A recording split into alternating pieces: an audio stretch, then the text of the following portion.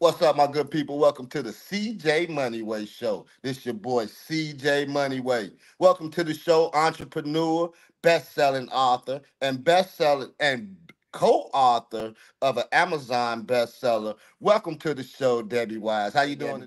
I'm doing great. Thanks so much for having me, CJ. Uh, thank you for coming on today. Thank you for coming on today. So, Debbie, could you please tell us a little bit about yourself and about your background? Sure.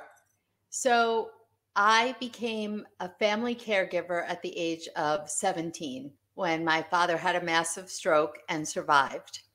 And I was his caregiver for the next 30 years. And then when my oldest son was diagnosed on the autism spectrum at two, uh, I I was always his caregiver, but that kicked it up quite a few notches. And then I later on became my husband's caregiver. So mm. I have 40 years of caring for family members while still trying to have a career and and all the things. Mm, mm, mm. That's that's I'm just say 40 years? 40 years, over 40 years. Yep. Wow. So, Debbie, uh, could you tell us about your book, uh, Heart Whisper, Whisperer? Sure. In that one, that's the one where I co-authored. I have a chapter. It's a collabor- collaborative book of 20 different stories. And the story that I have in there is about facing my fear of public speaking. Mm. And when I turned 50, I had kind of an epiphany or an aha moment where I realized that I had lost myself. Mm-hmm. Not that I wouldn't care, you know, I would never not care for my family members, but I did that without simultaneously caring for myself. Mm-hmm. And I lost who I was as a person. And at that time, I thought to myself, you know, something about for me, the number 50 felt like I probably don't have as many years in front of me as I've already lived. And mm-hmm. I don't want to be that person who gets to the end of their life and who looks back with regret for things I didn't do. Mm-hmm. And I didn't have anything in particular that I was dying to do. I just felt like there had to be more. And since that time, I've kind of been on a journey discovering what is more. And I have found in the last decade or so that it's when I'm able to face my fear and do something anyway mm-hmm. that the gift is on the other side. And I I was never one to stand up to my fears. Mm. So until until then, yeah. Yeah, I mean, you know, you, you said something that was very interesting that that that resonated with me when you said the age 50. It's like, you know, I got more years. I probably had more years in front of me than I do ahead of me. And so, you know, I don't want to just be stagnant, you know, and there's some things that I could have did in life and, you know, look back and get up there. And he showed me all the opportunities that I missed out on just because I wouldn't move forward. And I and it resonated with me because like I said, I actually started this podcast October 6, 2023, and I launched my first episode on my 50th birthday. I love that. So you know, when's your wait, wait, I have to know, is your birthday in October? Yeah, October 6th. Oh, it's October 1973. I mean 1973, yeah. So I'm October 9th. Oh. Except except 1963. Libra, Libra in the house. no wonder we kicked it off so well. Exactly. Except for the Mets thing, I'm not. I'm not cheering with that. I'm not cheering with that, Debbie. But um, but yeah, you know, as you say that, you know, you do get to a point where you you like, you know, hey, just let me just go for it. You know, if it work, it work. If it don't, then I can't say that I didn't give it a try, you know, instead of having regrets like you said later on down the line. So yeah, I thank you for that. Uh Debbie, could you tell us about your best-selling memoir, Second Thought? Maybe I can. I certainly can. So, you know, it the title really comes from that story in a way because my whole life I would say, I can't, I can't. I would always have a reason why any opportunity, small or or big. I mean, I'm not talking about ma- just major things, you know. Why don't you learn to ski? No, I can't do that. You know, mm-hmm. stuff like that. And because I was afraid. And I realized that if you take a minute after that knee jerk reaction of, I can't do that, and think for a minute, well, wait a second. On second thought, maybe I can. It changes everything. Mm. And so my book is my memoir. It's about 30 different stories chronicling parts of my life. And the first half is about my childhood and how I developed the limiting beliefs that I have about myself. And then, you know, the middle is about many, many different types of struggles that I've had in my life. Mm-hmm. And then the last part is about what's been happening the last 10 years since I've turned 50 and and how I've started to change things. Mm, I like the dynamics. I like the I like the steps that you just presented. So um, before we go anywhere, uh, before at, before that, so where can we find this book at? Oh, you know, all the usual places online, Amazon and BarnesandNoble.com and all those mm. places you can find it, or on my website. Okay, okay. So Debbie, could you tell us about your podcast with the same title? Maybe I can. Yes, maybe I can. So yeah, it's it's all the same theme on the podcast. I have solo episodes where I talk about, you know, different ideas or strategies or things that I've learned.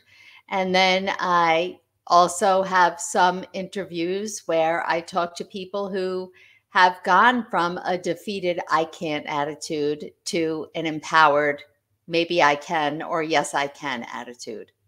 Mm, so, how long have your pod- podcast been in uh, circulation? A little over a year. Okay.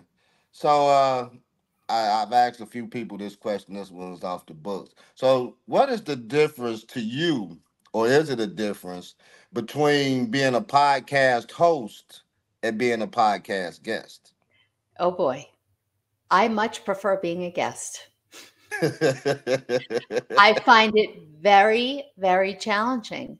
And um, I give you a lot of credit for stepping up and, and like you said, you went from every other week to twice a week. I mean, kudos to you because to do it right, it takes time and research and, you know, learning about your guests. And mm-hmm.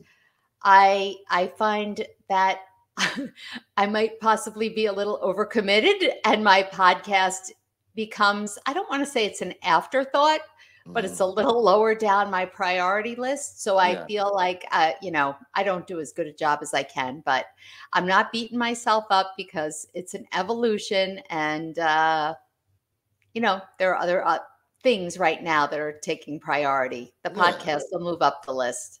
Yeah, I, I get it. I understand that, you know, because like with me, this is my pet project. You know, this, this is what I'm doing. Although I work a full time job and you know work doubles at that job and everything else, but this is what I'm doing. And so, like, like, like, like how you came on early today.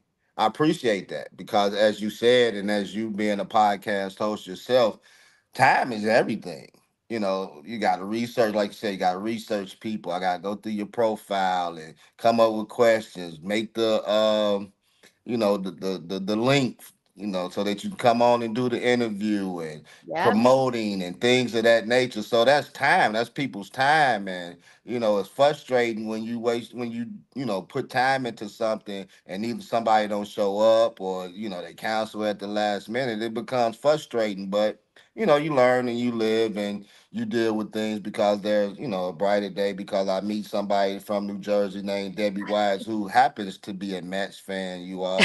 and but so you're not, not, holding against me. I'm not. I'm gonna hold the Boston thing against you. Though. I'm not gonna sit here. I'm not gonna sit here and deny that one, Debbie. My kids do too. They hold that against me too. Hey, hey, kudos to your kids. I appreciate them. And maybe I can. You said something earlier And I'm gonna move on that note. You said, no, maybe I can't ski. Well, Debbie, I'm not going there. I can't, and maybe I can't. Me too. maybe. I ain't. You know I'm, But I can't, I can't ski, but I did try. I'm not gonna do that. Now I know for sure I can't. Moving on to the next thing. oh man. So uh so Debbie, could you tell us uh, uh could you tell us about some of the challenges you have faced in your personal life? Oh, well, certainly, certainly my caregiving has been a challenge and it's been a challenge for a lot of different reasons.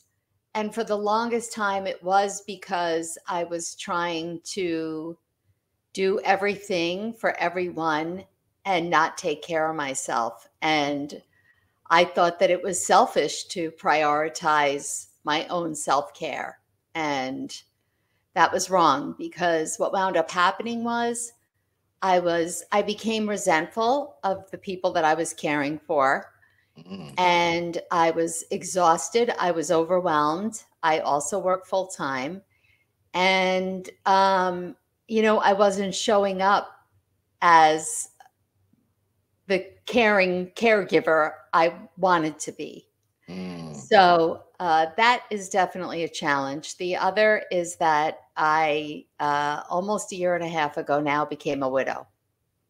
mm. Sorry to hear that. And that has been um, the journey leading up to that because my husband was diagnosed with terminal cancer six months before he died. Mhm, But even a few years before that, he had other health problems that caused him to stop working. And he also suffered from depression and anxiety, which was exacerbated in the last six months of his life. So it was um, extremely, extremely stressful. So that period then leading into the period of of grief and and stepping into this you know solo life we were together for 30 years so mhm. This is definitely a challenging time Yeah, you know, um, and and and I give you kudos for moving forward and having a the willpower to keep moving. You know, especially when you lose someone that you love. You know that you've been with and invested all this time in. And I can speak from my mother's experience how hard it was for her. You know, as far as losing. You know, as we talked before, I lost my father. That was like uh, almost nine years ago this November.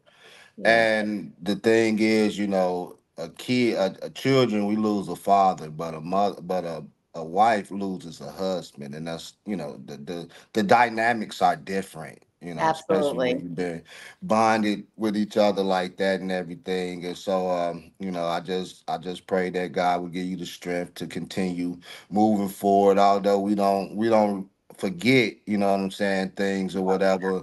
But uh as the saying go, life goes on, you know.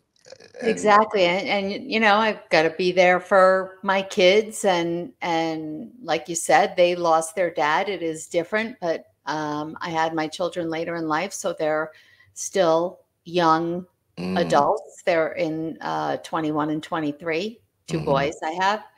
And uh, yeah, it's it's young to lose your dad, you know, so yeah. it's difficult for them too. So I have to be here for all of us. hmm hmm I pray that God will continue giving you the strength and, and continue blessing your family because the because if you haven't been through it, you don't understand it. Right. And Exactly. so and you know when when that time comes, everybody is there and you know the support system is there and everybody is you know uh, uh c- consoling you and this and that but then when it's over with that's when the real you know what i'm saying grieving comes Exactly. all those people they're not that's there that's right. They go back to their regular lives, hmm right? And you're looking around saying nothing will ever feel regular again. yeah It'll it'll never feel the same.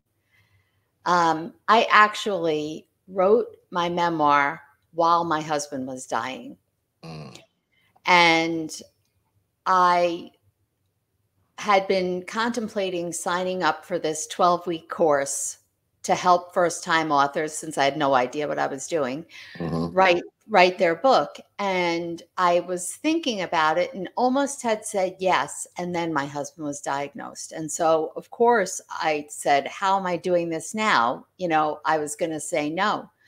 And at the time, I was seeing a therapist and I told her, and she said, You know, I disagree with you. I actually think this is the perfect time because you're going to need something mm-hmm. separate from what's going on in you know your world right now that's just for you and she was right because it it almost turned into my own form of self-care and i made it a priority every day you know i would get up and i'd write at six o'clock in the morning when my husband was still sleeping or if he um you know, didn't need me for an hour in the afternoon, I'd say, I'm going upstairs. And unless it's an emergency, don't bother me. And when he was in the hospital, I would bring my computer and my snacks and my drinks. It looked like I was moving in, eh, you know, and I'd go there every day. And when he was napping, you know, in the hospital, I'd open my computer and I'd write. And when he died, I was three chapters shy of finishing. Mm. And the first draft was due to the editor two weeks later. And of course, she said, Don't be ridiculous. You know, we'll extend the timeline under the circumstances. And just like you said, after everyone left, I said, You know what? No, I'm going to make that deadline because it helped me while he was dying. Mm-hmm. And now it's going to help me because it's going to give me something else to focus on you know, when kind of my world is falling apart. And and that's what I did. And uh, it was it it was hard, but it was it was helpful. Yeah, I'm just I'm I'm just listening to you. I'm listening to your story, and I'm just sitting here thinking how how amazing is he to be preparing us for our next level when we're going through a tragic situation, but he's building us in other areas of our lives so that when this comes, because this shall pass too. Yep. And so when this pass is over, he has already given us comfort in something else. You know, although like we say, you'll never forget about this, but I'm not going to dwell on that for the rest of my life. The memories, you know, that we shared would always be there. But he has he has given me another stepping stone to move forward. So uh, I commend you on that, Debbie. I really do for Thank you know you. just continue doing the things that you're doing. So um Debbie, when you speak about uh, a victim's mentality, mm. what do you actually mean by that?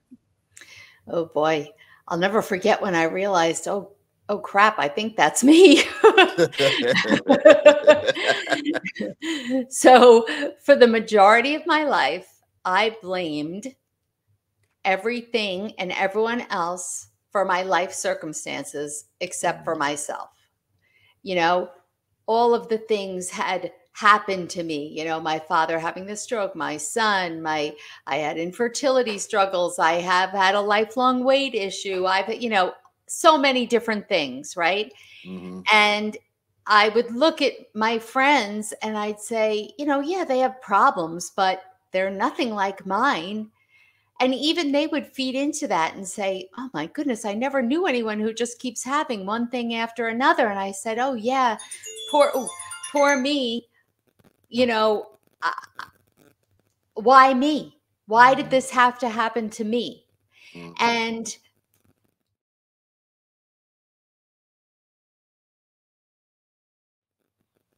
that was living like a victim and I was not taking responsibility. Everybody has stuff, and some of us have more stuff than others at different times in our lives, right? But it's how we respond to these things that makes us who we are.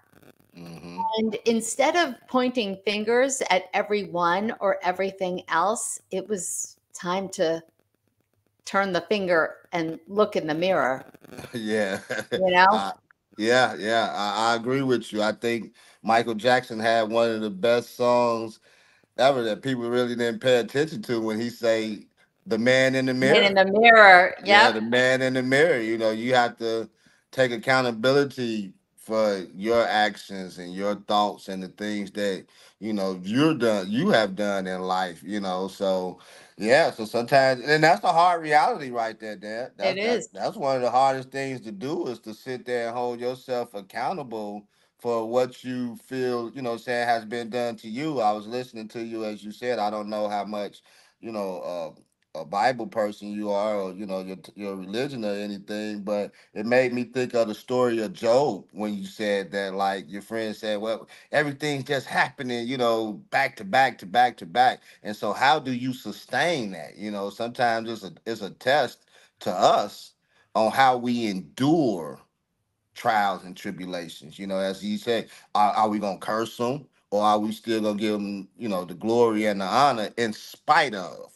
What we're going through because he know better than we do you know Eh, Well, so and right. And honestly, let's, I, I, looking back now, right? That's what's made me the person I am today, mhm, going through those things and finding out things about myself and, and, never realizing just how much strength I actually do have.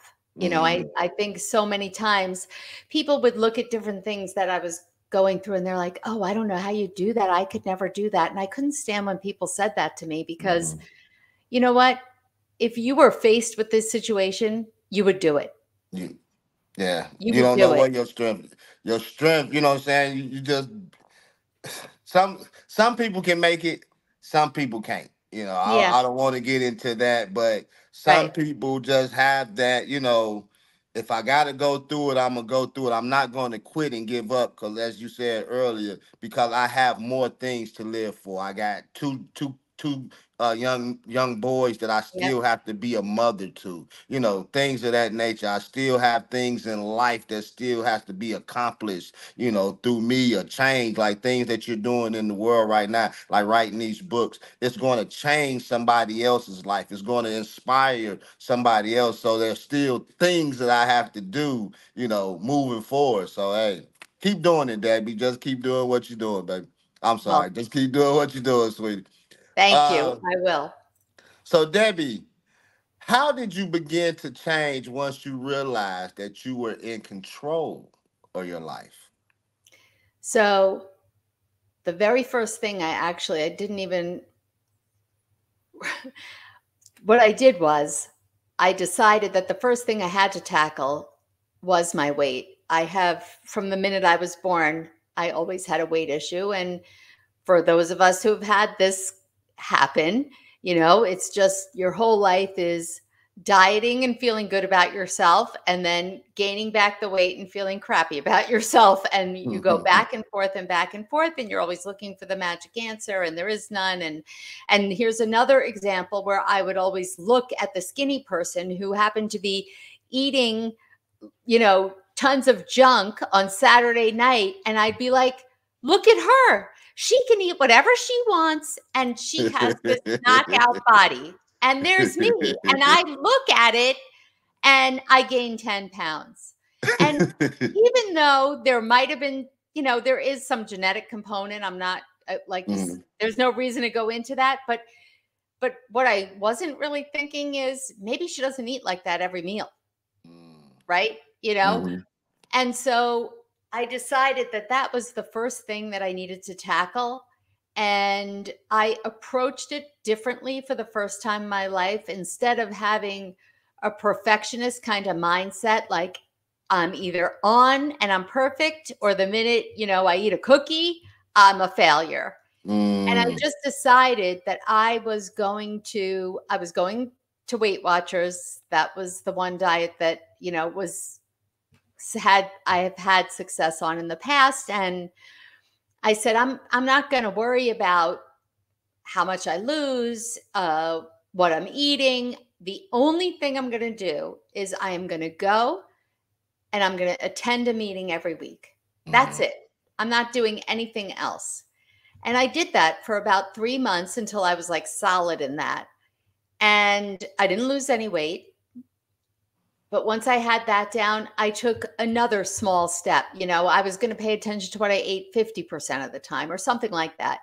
mhm, And I just kept building And it was really a mindset shift. You know, I realized there is no deadline. The deadline is when I stop breathing. Like, mm-hmm. this is going to be a, a lifestyle change. My kids used to make fun of me because they would see me eating something and they're like, Is that in your diet? And I'd mm. say, It's not a diet, it's a lifestyle. And everyone calls it that now. But 10 years ago, everybody wasn't calling it that. And they're like, mm-hmm. Is that in your lifestyle, mom? You know, making fun of me. But I realized so it was all a mindset shift and uh-huh. I'm not, you know, at the goal weight. And that's cool because yeah. I it is what it is. And when I saw how just changing my mindset changed everything, I realized that was like, oh, well, maybe I can apply this to other areas of my life. Mm-hmm. And so that's where it kind of all started. So, yeah, I mean, like you say, it, it, it's a lifestyle change. And the, the main thing I guess it is is just being committed to what you're doing. You know, as far as uh, you know, you set a goal, and a lot of times we set a lot of goals, and sometimes you get to them, sometimes you don't. Uh, it, it, it's just like saying, okay, you know, like like I work doubles a lot at work, right?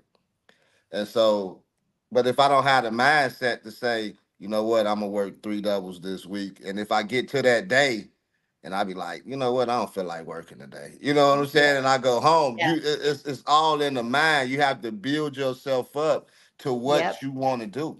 You know, because if you don't, then you can change your mind at any time because you haven't, as, as we say, prep talk yourself. You know what I'm saying? Oh, into oh, yeah. doing that. Oh yeah. That you can talk yourself doing. either any way you want, in yeah. in or out. Yeah, in or out, in or out. So Debbie, how has your daily life changed since you realized that you're in control? Um, well, it's changed tremendously because I'm very, very lucky that I, so I'm an insurance agent mm. and I've had my own agency for 29 years. And I have an incredible group of women who work for me. Uh, mm. One for 20 has worked for me for 27 years.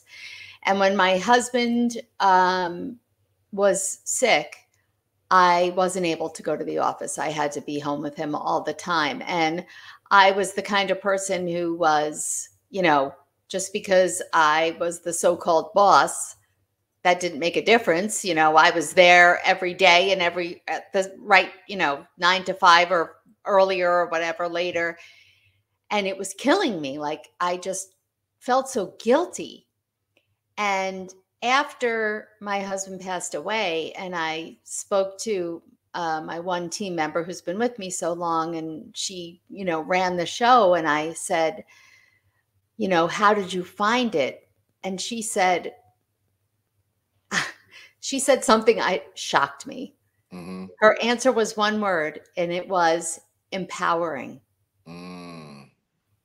And I thought to myself, oh my goodness, this whole time, I've basically been a micromanager. Mm-hmm. And by me stepping away, it allowed her to step into her power. Mm. And that changed everything for me because that gave me permission to be able to get in a 10, work from home on Tuesdays so I could record a podcast mm-hmm. or work on my, you know, I'm writing another book. So work on my other book. And it's kind of taken, it was a self imposed pressure that I was putting on myself.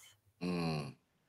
And so I find now that I have such a, a different attitude towards my day that even though I'm working and it might not be in my insurance job all the time, mm-hmm. it's it's then working like you are on something that you love and feel passionate about.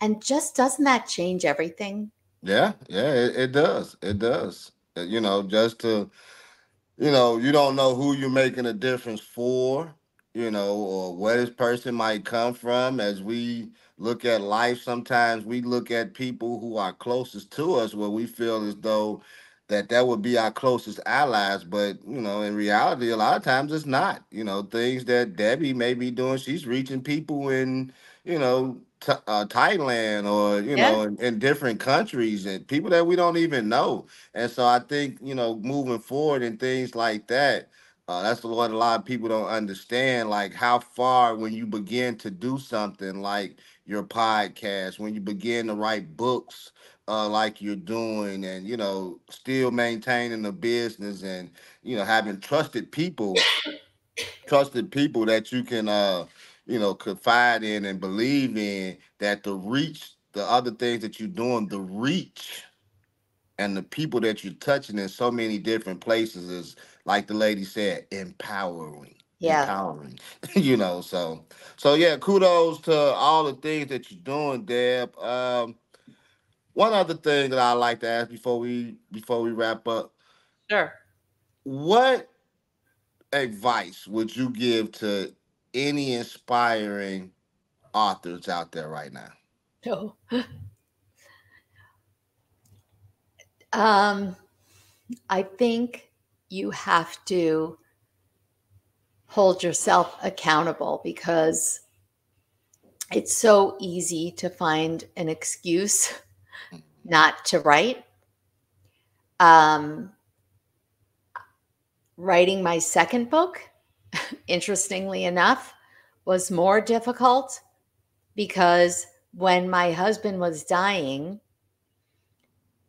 it was, it sounds ridiculous. Mhm. It was easier or more important to find the time to write.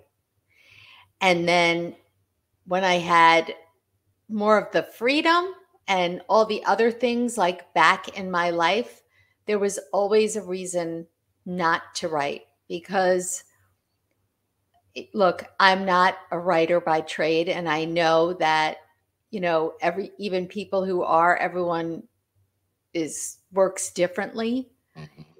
Um I find it a chore. I mean, sometimes it's a chore. And and then there are other days where it just kind of flows freely. You just Mhm. don't know.